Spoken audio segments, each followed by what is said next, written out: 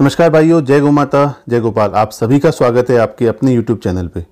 आप देख रहे हैं ये वीडियो नारी गाय का, नारी गाय के क्षेत्र का और नारी गाय रखने वाले के किसान का जीवन कैसा होता है, वह कैसा जीवन यापन करता है, इस वीडियो में आपको बहुत आनंद आएगा। उनके घर का भी भ्रमण कराऊँगा और उनकी सारी व्यवस्थाएँ किस तरह से वो गाय को रखते हैं, कितना प्रेम है इन लोगों के मन में इतना गाय के प्रति, नारी गाय के प्रति प्रेम है कि वो किसी भी कंडीशन में इस गोमाता को बेचना तक मंजूर नहीं करते हैं। मतलब इतना प्रेम से पचास गाय, चालीस गाय एक एक घर में रखते हैं, दूध की रेट कम मिलती है, फिर भी सेवा करते हैं।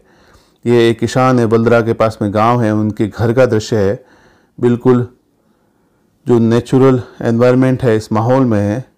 ये इनका छोटा सा घर है। उसके बाद में जो ये बाड़ाबंदी करके जो नारी गाय के लिए इन्होंने बनाया हुआ क्षेत्र है, एक चीज़ देखिए दोस्तों, नारी गाय एग्रेसिव थोड़ी कम होती है अपेक्षाकृत बाकी नस्लों के, और बहुत ही सुंदर, इतने बड़े सींग और डर होने के बावजूद भी ये गाय मतलब बड़ी शांत और बिल्कुल प्रेम भाव से भरी होती है।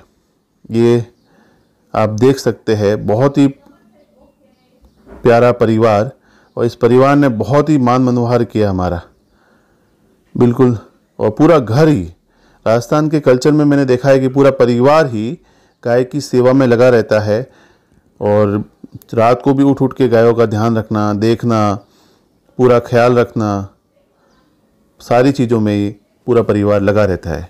आप जो कम से कम लागत में किसान किस तरह से फेंसिंग करके, जो लोकल हमारे यहाँ पे जो बबूल वगैरह होता है, उनकी फेंसिंग करके वो तैयार करता है और इन गायों को रखता है। दोस्तों, नारी गाय के बारे में जो मैंने जाना है यहाँ पे, एक तो इसका फैट बहुत अधिक होता है, पाँच से छः तक इनका फैट आता है और दूध की मात्रा भी लगभग साढ़े तीन, चार लीटर तो एक टाइम का दूध मिल ही जाता है, पर कुछ गायों में पाँच लीटर भी किसान की सेवा के अंदर दूध मिल जाता है। तो इस हिसाब से फैट की मात्रा देखें तो सबसे ज़्यादा फैट में दूध की गाय है ये, और ये पहाड़ी भी सीधा चढ़ जाती है। मतलब इस गाय को पहाड़ों पे चढ़ने में भी कोई परेशानी नहीं होती है।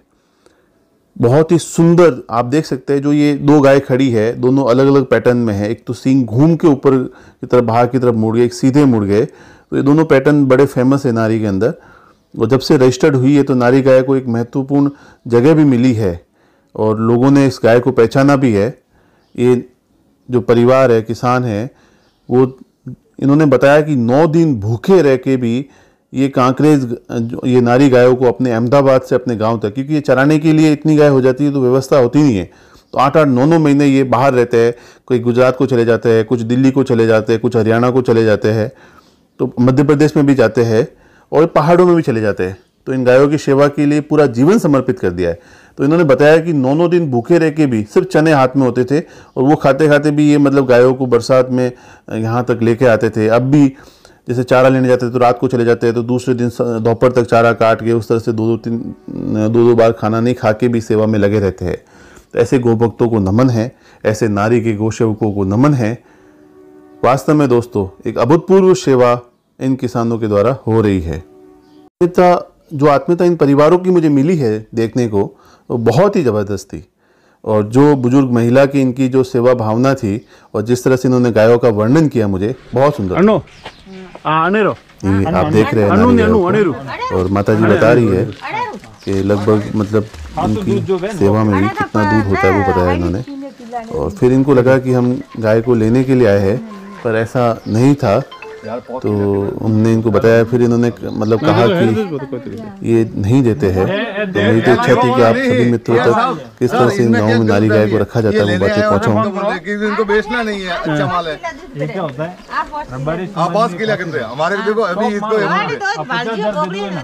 पाँच किलो करे पाँच किलो कर हमारा साढ़े तीन किलो कहता था। ये तो क्या क्या भाई खरीदने वाले हैं। मैंने इसको कुल भाई अपने गाय है अस्सी गाय है।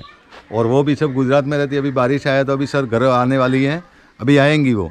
वो आएँगी तो आपको जल्दी से मैं पता कर दूँगा। बोले व्हाट्सअप और कैसे भी आपको मैं कांटेक्ट करूँगा। बिल्कुल। ओके सर हमें कई नस्ल है तो बताओ कई नस्ल राखो छो नायरी। हमारे को नायरी। हम वो मोड़ी नहीं पसंद करते नायरी का हम पसंद करते हैं वो दूध में भी अच्छी रहती है भैंस के जैसे दूध देती है उसकी सेवा जैसे भैंस जैसी करते हैं। सात आठ किलो भी मेरे पास गाय है वो दूध देती है। और गाय वो उसके उसके सारे भी हम जीते हैं। ठीक है सर?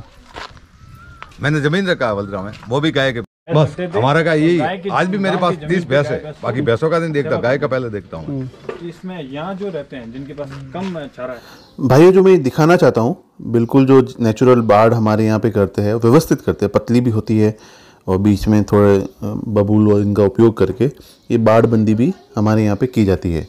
आप सभी मित्रों से निवेदन रहेगा कि बहुत सारे मित्र जब वीडियो देखने के बाद में सीधे निकल जाते हैं तो आप जो भी पहली बार वीडियो को देख रहे हैं, ज़रूर सब्सक्राइब करें। और वीडियो अगर अच्छा लगा तो अपने मित्रों में शेयर करें। तो आपके इस समर्थन की मैं अपेक्षा रखूँगा आपसे मित्रों से। आप सभी का बहुत बहुत आभार। नारी गायक इन गौ सेवकों को आप सभी की तरफ़ से नमन है। जय गो माता, जय गोपाल। आप सभी दोस्तों का स्नेह इसी प्रकार रहे। जय गौ